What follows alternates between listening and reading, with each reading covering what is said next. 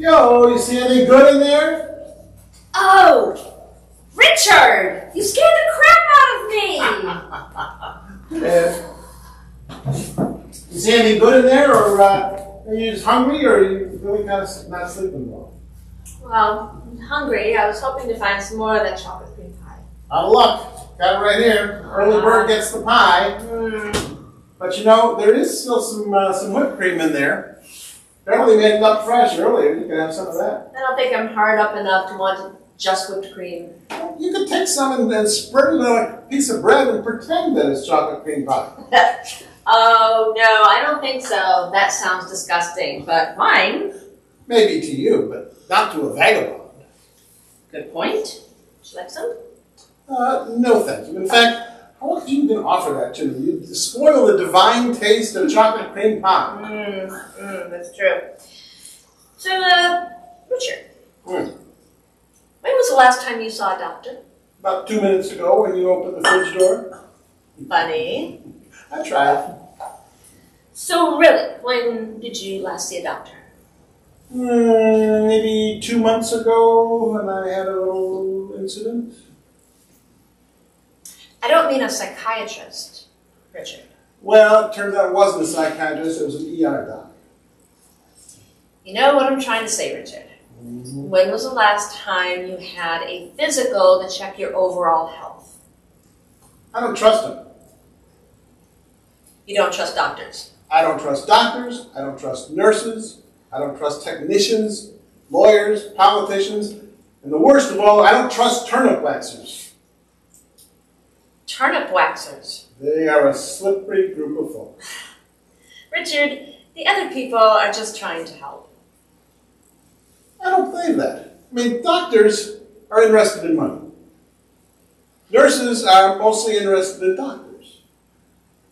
The technicians are just making donuts. And the, and the lawyers and the politicians, oh, they're a slimy bunch. They, they're so self-centered that all they, they'll say anything to try to get you to vote for them.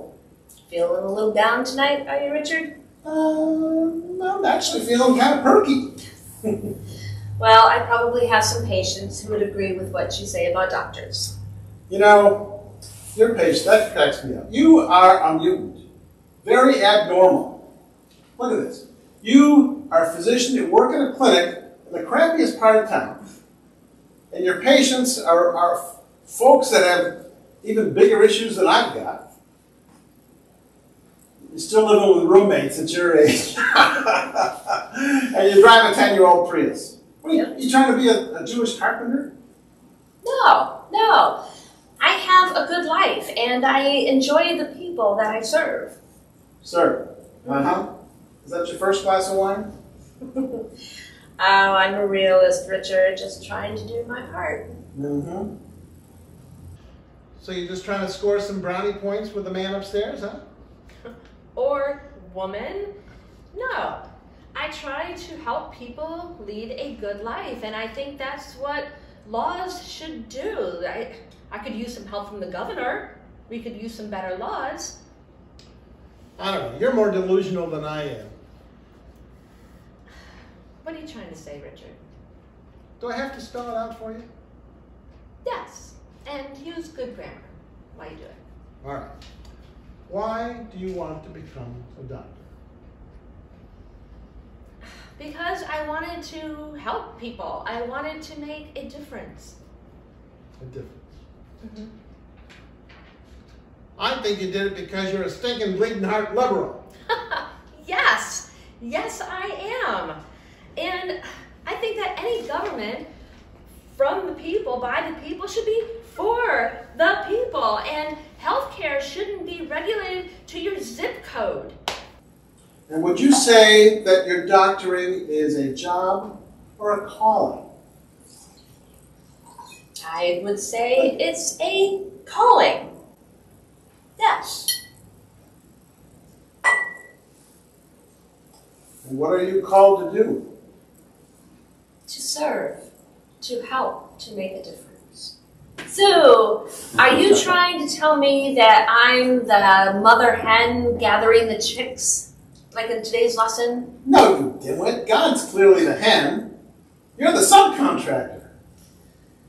I try to make my own decisions, Richard. Well, And if sure. and and if I'm the subcontractor, then what are you? I'm glad you asked it. That's a good question because I am the voice crying from the wilderness. Oh, so now you're John the Baptist? Oh, Please. Not that wilderness. I'm sticking Job, who's stuck in the lowest part of his life in the middle of his book. Richard, do you know what time it is? I'm gonna kick you out, and you're gonna deserve it. See what I mean? One of Job's friends trying to offer unsolicited advice. Ruth, just back off. Just go away. I'm tight with the Donald. Remember that. Richard! I think my work is done here. It's just Richard being Richard. It's okay. I'm gonna do it. It's okay. You know, Richard can be such a. Say it, say it. It's right on the tip of your tongue. Mm, he's an instigator.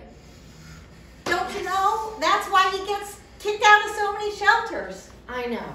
I know. He just pushes people's buttons. Well, everyone has something that they're really good at. That's what Richard is really good at. He knows that you're a good person and that you're very caring about others. Oh no! You're the mother hen trying to gather her chicks. No, I'm the subcontractor. Richard, he's the fowl. He's the male chicken. He's a.